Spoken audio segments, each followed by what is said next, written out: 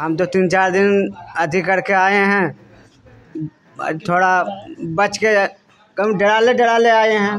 डरते डरते आए हैं। हाँ जी सर। बहुत वहाँ का स्थिति खराब है स्थिति वहाँ का ऐसा है वहाँ का जो तमिल लोग कहना कहना है कि बिहारी सब भागो और यहाँ तुम लोग आ गया है तो हम लोग बेरोजगारी हो गए हैं तुम लोग का बिहार में कुछ रोज़गार नहीं है इसलिए यहाँ आता है और हम लोग कहाँ जाएँगे? इसलिए सरकार से आग्रह है कि सभी बिहारी को व्यवस्था बिहार में ही किया जाए क्योंकि बाहर जाने के बाद भी लोग खटता भी है और पैसा भी मजदूर कम देता है और उधर से मार को भी भगाता है तो स्थिति तो थोड़ा नाजुक तो होता जा रहा है बिहार नमस्कार आप देख रहे हैं न्यूज़ फॉर नेशन और मैं सुमित आपके साथ।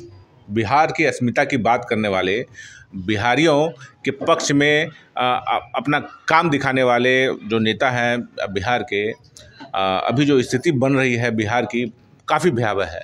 मैं बात कर रहा हूँ तमिलनाडु की। तमिलनाडु में बहुत सारे बिहारी लोग फंसे हुए हैं हिंदी भाषी लोग फंसे हुए हैं जिनको अपनी जान का खतरा हो गया है। मैं आपको बता दूँ कि अभी कुछ वीडियो आ, सोशल मीडिया पर चल रही हैं जिसमें काफ़ी बेरहमी से लोगों को पीटा जा रहा है और उनकी हत्या की जा रही है।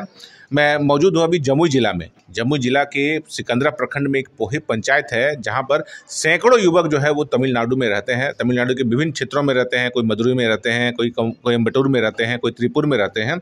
कुछ जो मजदूर हैं वो वापस घर आ गए हैं, लेकिन अभी जो सूचना मिल रही है यहाँ पर आने के बाद कि बहुत सारे लोग अभी भी फंसे हुए हैं। एक लड़का है, अरमान, जो इसी पंचायत का लड़का है, जो कि अभी भी रास्ते में है, वो अभी तक घर नहीं पहुँच पाया है।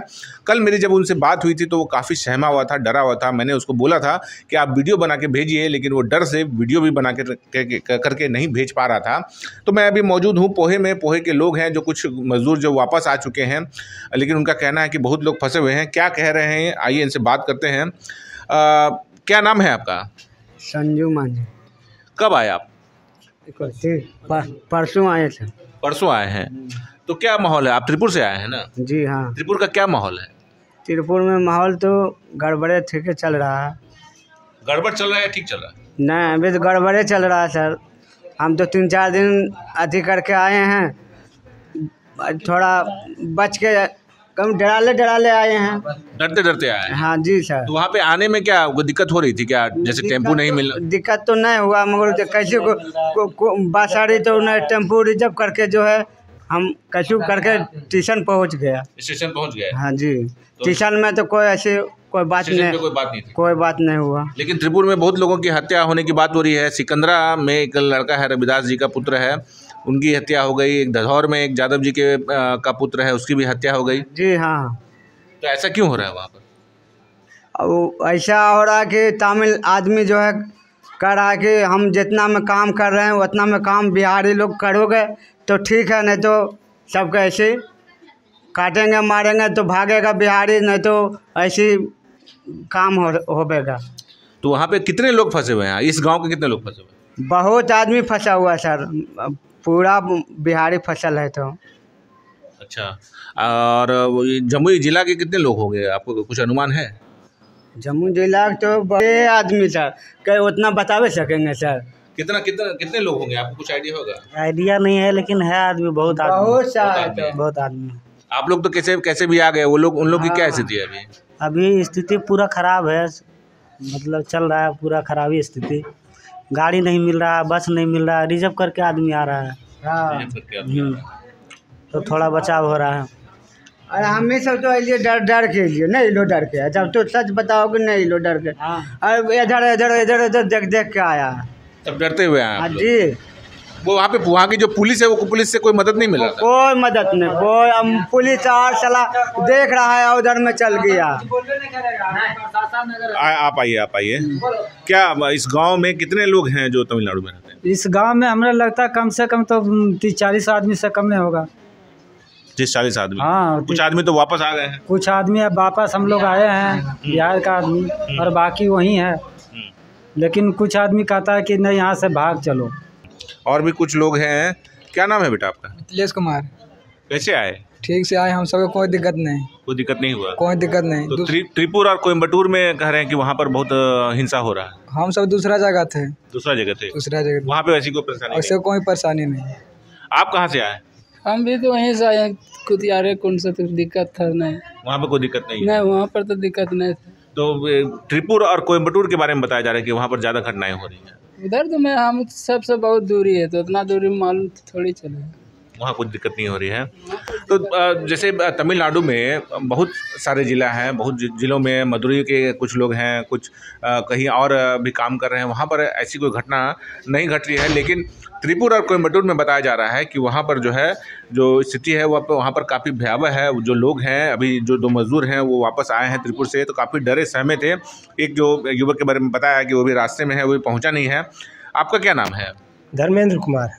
क्या लग रहा है? आप भी तमिलनाडु में रहे हैं। बहुत वहाँ का स्थिति खराब है, स्थिति वहाँ का ऐसा है, वहाँ का जो तमिल लोग कहना कहना है कि बिहारी सब भागो, और यहाँ तुम लोग आ गया है तो हम लोग बेरोजगारी हो गए हैं, तुम लोग का बिहार में कुछ रोज़गार नहीं है, इसलिए यहाँ आता है, और हम लोग कहाँ जाएँगे? तो इसलिए उनका कहना है कि तुम लोग अगर यहाँ से बिहार चले जाओ और नहीं तो हम सबको मारेंगे, काटेंगे।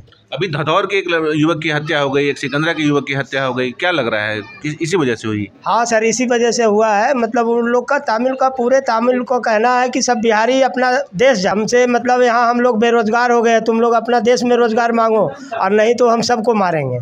यहाँ किसी को आने नहीं देंगे, जाने नहीं देंगे और मतलब जो है कि अपना अपना देश में रोज़गार करो। हम लोग कहाँ जाएँगे? बेरोजगारी हो जाएँगे तो।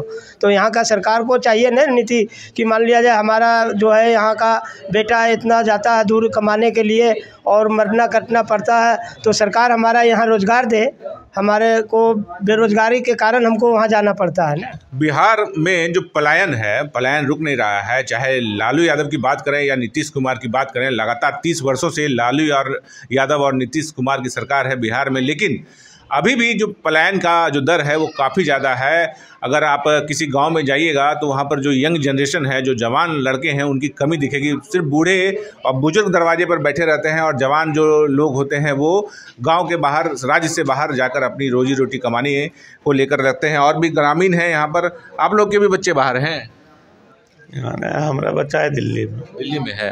तो इस गाँव से तो बहुत सारे बच्चे हैं गए हुए हैं। हाँ गए हुए तो हैं। क्या लग रहा है आप लोगों को? बताइए कैसा महसूस कर रहे हैं? बेरोजगारी है बेरोजगारी के चलते तो जाना ही पड़ता है पेट के लिए। और उन लोग को सुरक्षित से लाया जाए वहाँ मारपीट कर रहा है और क्या कर सकते हैं। सरकार से क्या गुहार लगाई?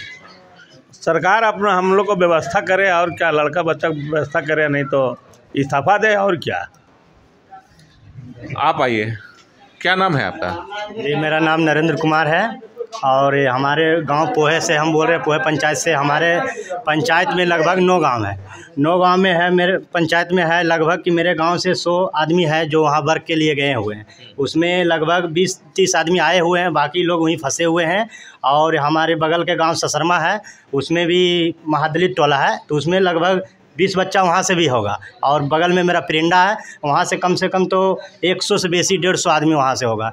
तो सरकार से यही गुजारिश है कि वहाँ सभी जो फंसे हुए व्यक्ति है, सबको सुरक्षित लाया जाए और हमारे बिहार में ही रोज़गार का कुछ अथी लगाना, लगाया जाए, क्योंकि बिहार तो हर एक जगह रहता है और बिहारी से काम बिना नहीं होता बाहर में।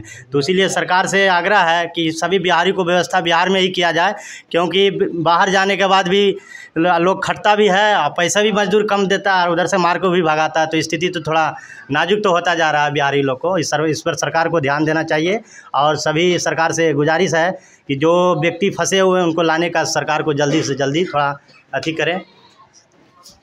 देखिए अगर बिहारियों की बात करें तो बिहार के जो लोग हैं आ, दूसरे स्टेटों में जाकर दूसरे देशों में जाकर बिहारियों का दबदबा है हर क्षेत्र में, हर फ़ील्ड में।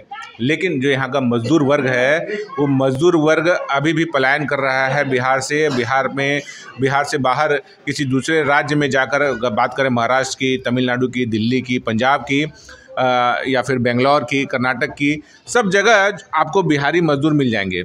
तो इन लोगों का कहना है कि बिहारी तो हर जगह आगे है, लेकिन हमारा जो बिहार है इतना पीछे क्यों है? जो सरकार है, वो यहाँ बिहार में हमारा हमें रोज़गार मुहैया क्यों नहीं कराती है? जो सरकार यहाँ पर लगातार तीस तीस साल से लालू यादव की सरकार है और नीतीश कुमार की सरकार है, मजदूरों के लिए क्या कर रही है? ये एक बड़ा क्वेश्चन मार्क बनता दिख रहा है फ़िलहाल, और जो यहाँ पे लोग हैं, जिनके लोग अभी भी बाहर फंसे हुए हैं तमिलनाडु में, यहाँ पे एक पिरिंडा गाँव है खास करके ये जो पोहे पंचायत है, पोहे पंचायत से ही लगभग लगभग सैकड़ों युवक जो हैं वो तमिलनाडु में काम करते हैं और तमिलनाडु में कुछ लोग तो वापस आ गए हैं होली की होली की छुट्टी को लेकर के। कुछ लोग वापस आ गए हैं और कुछ लोग अभी भी वहाँ पर फंसे हुए हैं। हालाँकि विधानसभा में नेता प्रतिपक्ष विजय कुमार सोना ने सवाल उठाया है और नीतीश कुमार ने बिहार के डीजीपी आर एस भट्टी को आदेश दिया है कि क्या सब कुछ चल रहा है तमिलनाडु में, ज़रा इसको देखिए। हालाँकि अब बिहार सरकार इसको लेकर के क्या कदम उठाती है, ये देखने का विषय है। बने रहिए हमारे साथ, देखते रहिए न्यूज़ नेशन धन्यवाद।